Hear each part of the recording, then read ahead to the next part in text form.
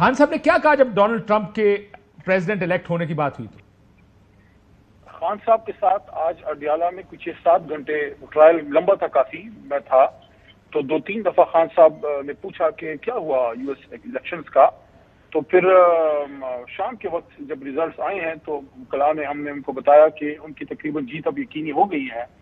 उन्होंने उस पर खुशी का इजहार किया। इस तनाजर में उन्होंने कहा कि हमारे साथ, हुकूमत के साथ पाकिस्तान के लिए बेहतर था। उनके ताल्लुक अच्छे थे। जो बाइडन के नीचे एक नेगेटिविटी सी थी तो उन्होंने अपनी रिहाई के हवाले से तो कोई बात नहीं की। इस तनाजर में, लेकिन उन्होंने ये ज़रूर कहा कि कम अज कम जो बाइडन एडमिनिस्ट्रेशन के जाने से जो एक नेगेटिविटी थी डोनाल्ड लू और वो लेटर और वो सारी चीज़ें साइफर वो नेगेटिविटी खत्म होगी, क्योंकि उन्होंने ये बात अलबत्ता की, जो ज़रूरी है। करना खान साहब ने कहा कि एक अच्छा रिलेशन था उनका as a prime minister president US के साथ और ट्रंप साहब उनको खुद फ़ोन करते थे और बहुत सी चीज़ें वो डिस्कस होती थी जैसे दो तरफा ताल्लुकात में बिज़नेस के इशूज स्टूडेंट्स के इशूज लेकिन ये ये इंप्रेशन खान साहब ने ये दिया कि बहुत दफ़ा बात हुई अमरीकी सदर से उस वक्त के सदर डोनाल्ड ट्रंप से इमरान खान साहब ये इंप्रेशन दिया उन्होंने आपको? उन्होंने कहा कि एज अ प्राइम मिनिस्टर उनसे रबता रहता था और पॉजिटिव थे पाकिस्तान के लिए ट्रंप साहब। ये उन्होंने बात की कि ताल्लुक बेहतर हो रहा ये भी कहा कि मेरी दोस्ती थी उनसे। उन्होंने ये कहा कि उनके साथ एक अच्छा ताल्लुक था उनका। एक जिस तरह दोस्ती का या दो तरफा ताल्लुक होता है उन्होंने जिस चीज़ पे ज़ोर दिया वो ये था कि हम कोई ये नहीं एक्सपेक्ट करते कि हम ये मैं अपनी बात कर रहा हूँ कि हम रिहाई के लिए उनको कहेंगे।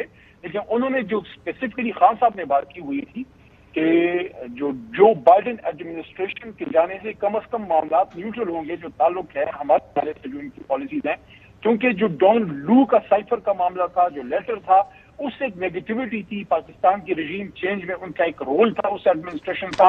तो कम अज कम वो चीज़ें रिवर्स होंगी और एक मामला बेहतरी की तरफ़ दो मुल्कों के बीच में जो वो जाएँगे। मुल्कों के ताल्लुकात बेहतर हों। बहुत शुक्रिया। अली मोहम्मद खान साहब हमारे साथ मौजूद थे। नाजिन दोस्ती थी। अच्छा ताल्लुक था फ़ोन करते रहते थे इश्यूज़ डिस्कस होते थे। ट्रांसलेट ये पीटीआई वाले क्योंकि सुबह से छलांग छलांगे लगा रहे let let me honestly tell you इस वक्त ट्विटर पे तरीके साहब वाले छलांगे लगा रहे हैं। जब खान साहब का वो डाले का दरवाज़ा खुलेगा कड़ कड़ कड़ की आवाज़ आएगी वो दरवाज़ा खुलेगा खान साहब बाहर आ जाएँगे। छलांगे so how do define this how do translate एक तो है वो छलांगे जस्टिफाइड है। लेकिन मैं आप थोड़ी सी सर वो तारीखी पस मंजर दे दूँ आपको थोड़ा सा। 1999 में मियाँ नवाज़ शरीफ प्राइम मिनिस्टर हैं। और बिल क्लिंटन सदर अमेरिका के, और उनके अच्छा रहपौर था एंड वेरी गुड प्लेज जैसे इमरान खान का और ट्रंप का है। जब कू हुआ, इनकी सजा हुई, सारा हुआ, क्लिंटन ने बुलाया तीन ममालिक को। UAE, Saudi Arabia, Qatar consortium बनाया। उन्होंने कहा, मेरा लास्ट डे इन ऑफ़िस है 20 जनवरी 2001 मैं चाहता हूँ मेरे जाने से पहले नवाज़ शरीफ रिहा होना चाहिए।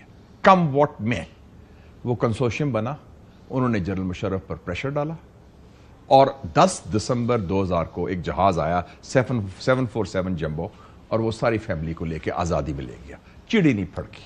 तो so, ये अगर कॉल आ गई कॉल आएगी। देखें हम आ, आज दोपहर में ट्रांसमिशन में बात करते मेरा ये व्यू था कि अगर कॉल आ गई तो उसकी टोन देखनी पड़ेगी कि क्या वो एक दरखास्त गुजार टोन है कि देखें ह्यूमन राइट्स का इशू है लुक इन टू दिस या अगर आई कि नहीं इज़ इमरान खान बाहर निकालें हम क्या यहाँ पे पाकिस्तान कैसे रिएक्ट करेगा इस कॉल को? अगर सख्त कॉल आती है। सख्त मतलब ऑर्डर नुमा कॉल मैं समझता हूँ कि अमेरिका नए इंतजामिया सदर ट्रंप के अपनी या अपने ऑफ़िस से कोई call I a call is a call from the United States of America फिर उसको आप गुंजाइश नहीं होती नो की।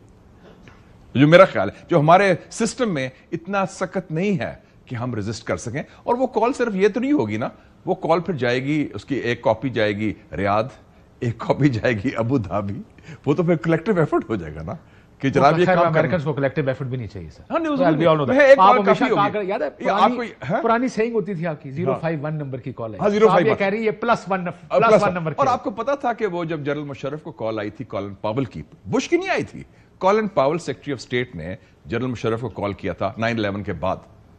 तो आपने 20 साल पुरानी अफगान पॉलिसी आपने ऐसे यू टर्न किया। और कॉलन पावल ने अपनी किताब में लिखा कि ऐसी चीज़ें भी पाकिस्तान ने मान ली मान जो हम अमेरिका में नहीं कर सकते नहीं नहीं कर सकते थे। और हमने मांगी भी नहीं थी। वो, वो सारा कुछ ठीक है। फ्लैट। तो अब वो कॉल अमेरिकन प्रेसिडेंट की नहीं but I don't think I call मेरा ये ख्याल है कि पाकिस्तान पैकिंग ऑर्डर पे बहुत नीचे होगा फॉर फॉर अमेरिकन प्रेसिडेंट ये रवायती प्रेसिडेंट नहीं है। ये देसी किस्म का खुला डुल्ला बंदा है। Lorry style. यारी दोस्ती थापड़ी मारी। और, और फिर की हाल है और सुनाओ। हाँ, गल करो ना। फटियाँ पांदांगे असि उस टाइप का बंदा है। ये ना जट टाइप आदमी है और वो वो, वो नहीं कि बड़ा सोफिस्टिकेटेड बड़ा ये so you you you actually आप तरीके इंसाफ के लोगों को ज़्यादा एक वो कह रहे हैं कि चंगा खुश हो रहे हो तुम हाँ नहीं और ठीक है। दूसरी बात है जो इसके जो सपोर्टर्स हैं जिन्होंने पाकिस्तानीज भी उधर हैं उनके भी वो है वो सारे वो वो उसी सिस्टम की तरफ़ से आए हैं डायस्पोरा के जो है ना।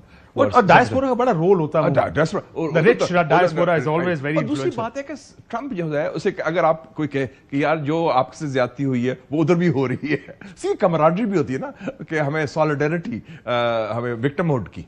तो हाँ। वो उस हवाले से है। अच्छा वैसे ये क्या आपको लगता है कि बिकॉज़ ट्रंप बिलीव्स कि वो भी इन इसी माहौल से नहीं वो तो हैं कि वेपनाइज हुआ है। हाँ assassination भी हुई केसेस भी हुए और और उसमें मेरे दोस्त के साथ ये तो ये हो सकता है कि उसको कॉमनैलिटी और उसमें भी कुछ लोग पर्सनल लाइफ के बारे में उसकी भी थी भी है दोनों चीज़ें कॉमनैलिटीज बड़ी हैं। पर्सनल लाइफ एलिगेशंस कन्विक्शंस फिर असैसिनेशन अटेम्प्ट्स फिर वो वेपनाइजेशन ऑफ़ द लॉ और conviction press campaign disinformation campaign भी साथ। रोज कन्विक्शन हो रही है सारा कुछ हो रहा है। और वो ये भी कहता है इलेक्शन में धांधली हुई ये भी कहते हैं आठ फरवरी। So they are whole lot of similarities